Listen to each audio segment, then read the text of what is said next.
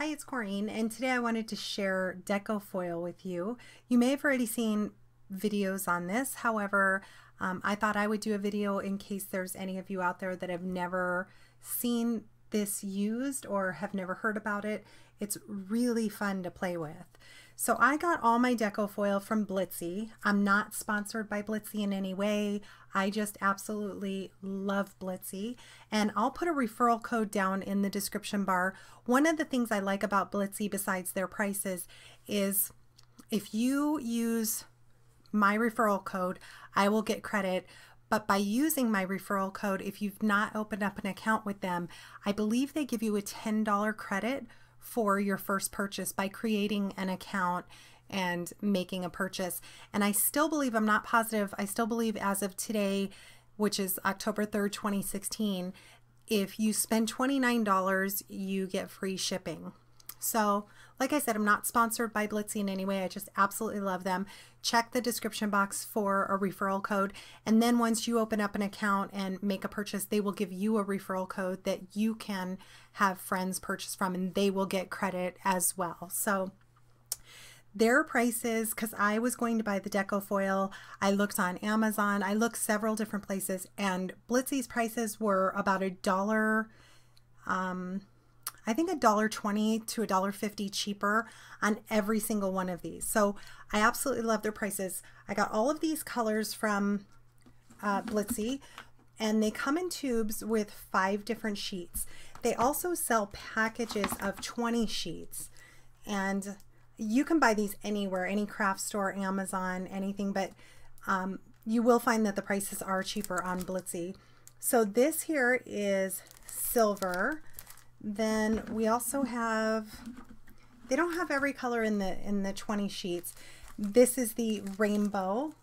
Look how cool that is. And then we also have gold and rose gold as well, which I recently just used the rose gold and it's absolutely gorgeous. So let me just show you here. Um, I have, what I'm going to be using is a laminator. This is a laminator I got probably 10 to 15 years ago from Target. If I remember correctly, it was $24 and it is a heated laminator. So it works really well. Heidi Swapp also sells the Minc machine, which I don't quite know the prices. I know she has a smaller one and a larger one. The larger one goes for about $120, but to me it does the exact same thing. Here are some samples of just playing around with the glitter um, excuse me, not the glitter, the foil. The key to using these is a laser printer. If you have an inkjet printer, it will not work. You need a laser printer. If you don't own a laser printer, it, you can take them to any copy store. You would just simply bring in what you want or you can print out what you want on your inkjet printer take it into any copy store or even grocery stores. If you see they have a big printer in their customer service area, those are usually going to be laser printers. You can simply scan in or copy what you bring in. So if you printed this out, you could just copy that onto their printer, probably bring your own cardstock, and it'll print out on a laser printer, and then you can do this exact same thing as I'm doing. So I printed these out on a laser printer, and cut them out with my Cameo and look how cute that is. So I used the two different colors on this. This again was just black ink printed out on a laser printer. This I did polka dots. This is the silver uh, quarter foil and this is a tag that I did for an album. I'm covering up the person's last name because I don't have permi permission to use it but I did use the rose gold and look how gorgeous that makes on a tag. So I simply want to show you a couple different things and I'm going to show you how I did this one as well. Here I have printed out, you do not need a Cameo to do this. However, you can take it a step further if you do have a Cricut or a Cameo. So I printed this out from my laser printer. I'm going to, being that I have the registration marks, I'm going to send it through my Cameo and cut it out and then add foil to it. Okay, so we'll do that in a moment. I also have this. I've already done this printed from my laser printer.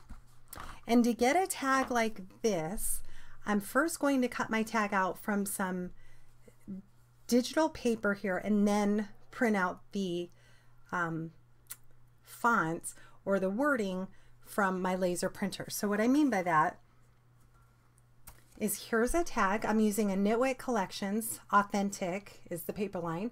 I printed and cut this out from my Cameo. I printed this on my inkjet printer. Then I'm going to add wording with my laser printer and I'll show you that here in a moment.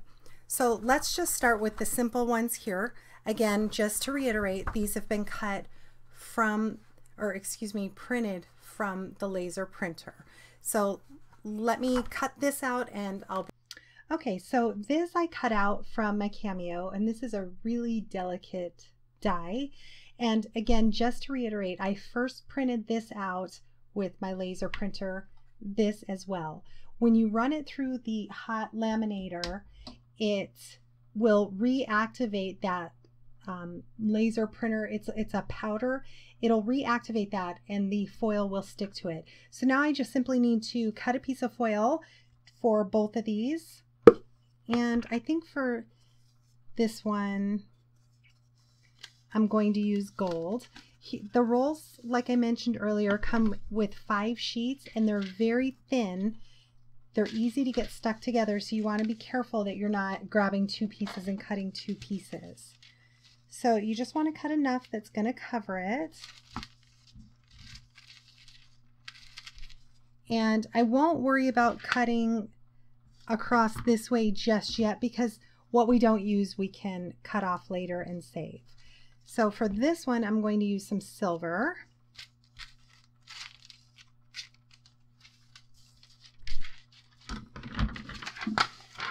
And now I have a piece of copy paper, just a, a lightweight piece of copy paper. I'm going to fold this in half.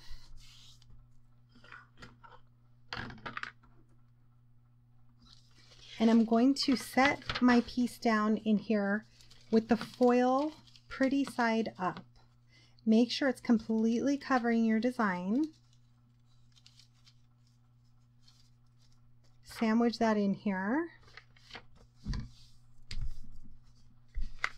Let me move this aside. And now here I have my laminator heating and I have it on a chopping block. I put it under a piece of um, Ranger craft mat when I was playing with it before, thinking that that would withstand the heat, and it does not. So you want something under it that's going to protect your work surface because it did start to bubble my mat.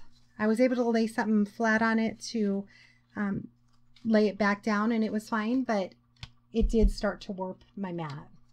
Okay, so once your laminator is ready, just go ahead and the folded side, feed it through. Mine does not have any settings on it. It's just on and off.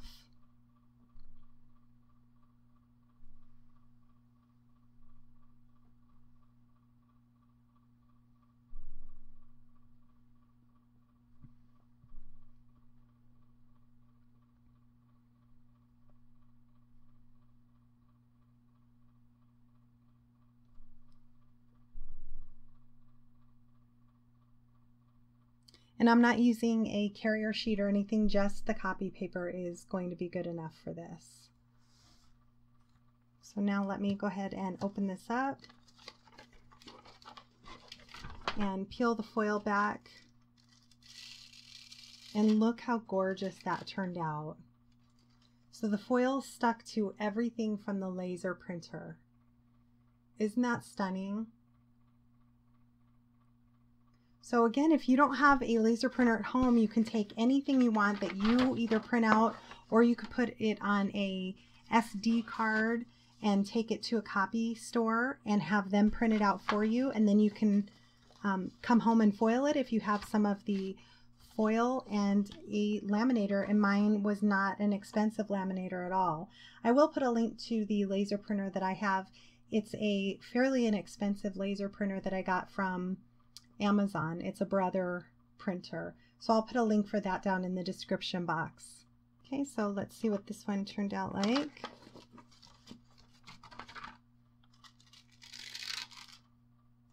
That is absolutely beautiful. I did the border in the black ink as well. So now let me show you how you can use both a pattern print and the foil. Let me set this stuff aside and I'll be right back. Okay, so what I did here is I printed two sayings out on my laser printer and here are the tags I want to print them out that I've already added my digital papers to. I've added ATG tape to the back of these it will most likely rip this paper so you'll probably want to use another tag on for the back of it when we're done and I'll show you that when we're done. Okay so now I'm going to try and center this as best as I can. I'm not going to press it down and I'm going to hold it up to a light I have above me. Actually I want to do this one here.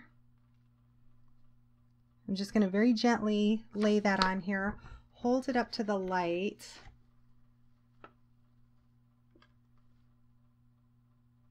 And it looks like I need to move it over to the left just slightly. Again, I'm going to just carefully tack that down. I'm holding it up to the light and I can see right through my tag. And now that I'm happy with that, I'll press that down. I'll do the exact same thing with this tag here. Just going to try and center it.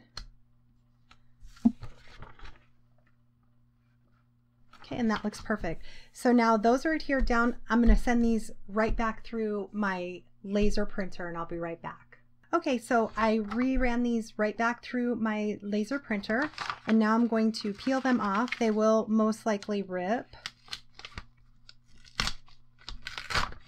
You can also just easily cut around if you're using a tag shape like this. You can easily cut around your tag shape.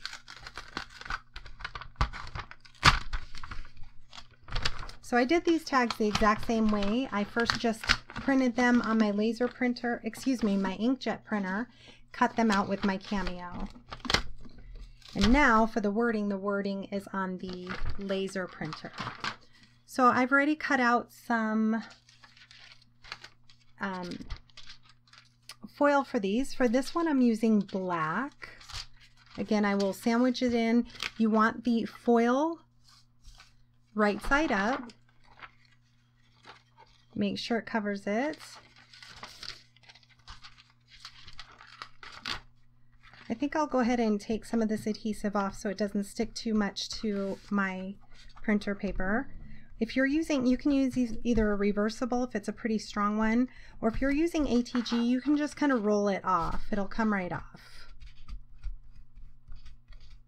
Okay, so I'm going to lay my black over it.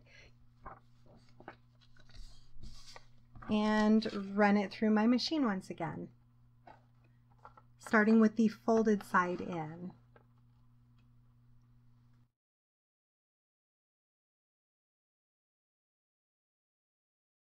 Check out the results of this.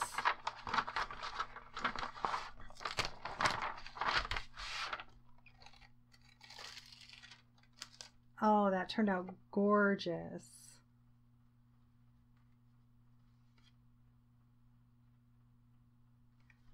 So let's see how this one will turn out. And then the rest of it, you can just cut this off and save any of the excess.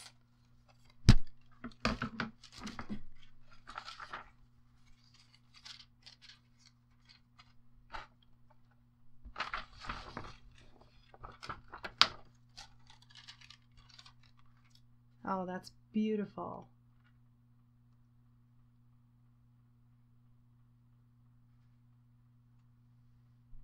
I did also want to show you that you can use two different colors of foil. So I printed out this same Live Love Sparkle and this has a beautiful green and pink in the design so I thought I would use both. So just lay it over the part that you want it to cover. Again, sandwich it in your paper. And run it through.